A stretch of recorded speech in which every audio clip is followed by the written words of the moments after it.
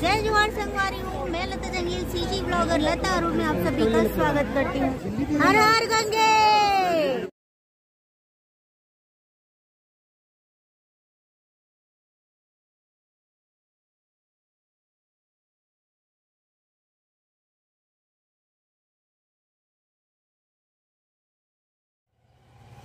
हम लोग गंगा स्नान कर चुके हैं और भोजन भी कर चुके हैं दोपहर का लंच ले चुके हैं।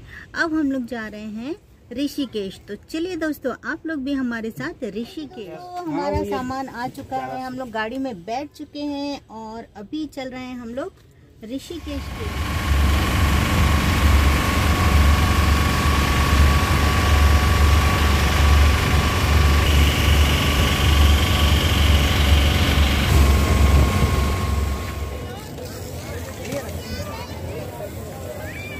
हम लोग जा रहे हैं।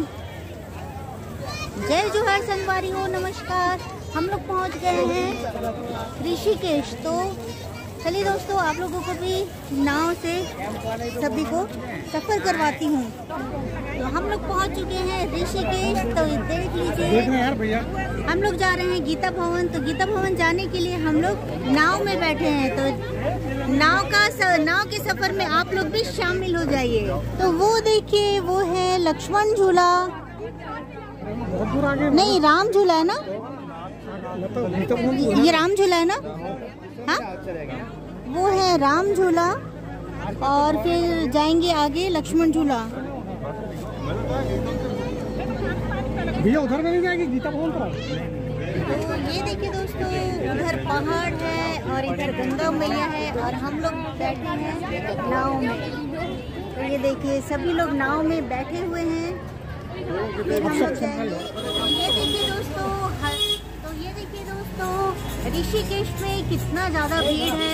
तो ये देखिए दोस्तों, हरिद्वार में जितना भीड़ था, ऋषिकेश में भी उतना ही ज़्यादा भीड़ है।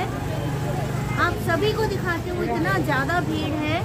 तो ये देखिए दोस्तों बहुत ही ज़्यादा भीड़ है यहाँ पर गंगा गंगा किनारे ऋषिकेश के गंगा किनारे पहाड़ ये देखिए कितना सुंदर पहाड़ का एरिया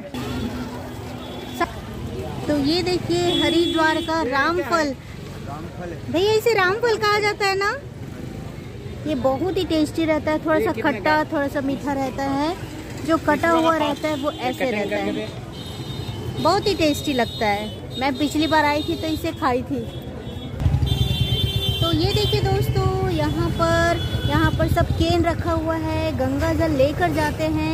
यहाँ पर गंगा नदी है और पहाड़ दे सक, देख सकते हैं कि पहाड़ इतना सुंदर लग रहा है।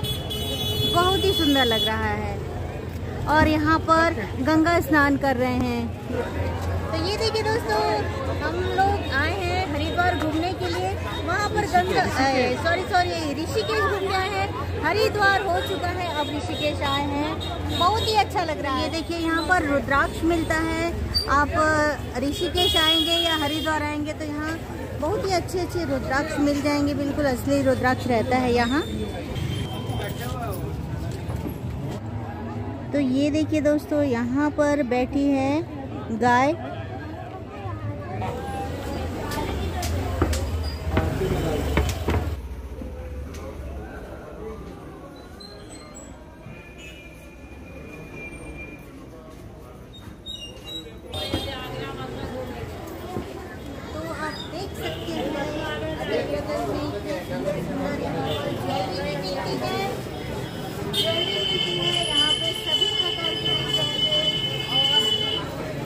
लोगों को।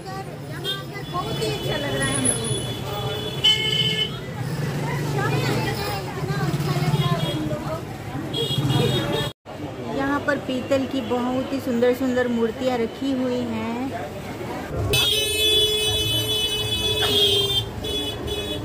गंगा आरती होने वाली है और हम लोग पहुँच गए हैं गंगा आरती के लिए। तो चलिए दोस्तों, आप लोगों को भी गंगा आरती में लेकर चलती हूँ। ये देखिए दोस्तों यहाँ पर गंगा आरती होने वाली है और हम लोग पहुँच गए गंगा आरती के लिए। तो चलिए आप लोग भी हमारे साथ गंगा आरती में।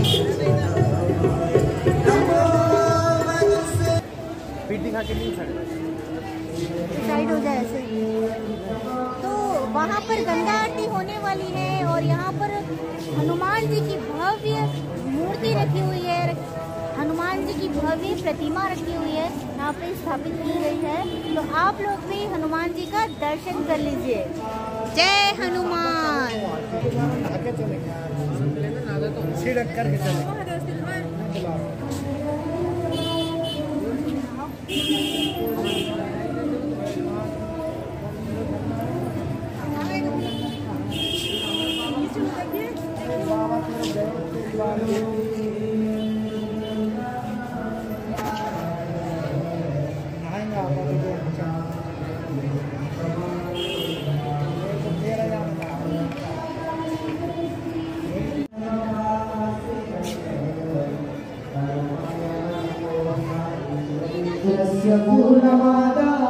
तो ये देखिए दोस्तों।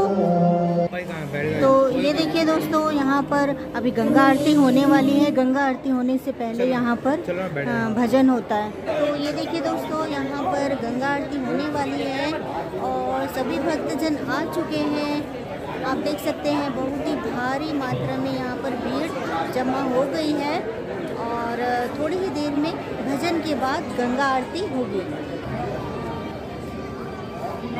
तो ये देखिए, आप लोग भोले बाबा का दर्शन कर लीजिए। अभी थोड़ी ही देर में यहाँ पर आरती होने वाली है और वहाँ पर हवन हो रहा है थोड़ी देर में। आरती होने वाली है और भजन होने वाली है।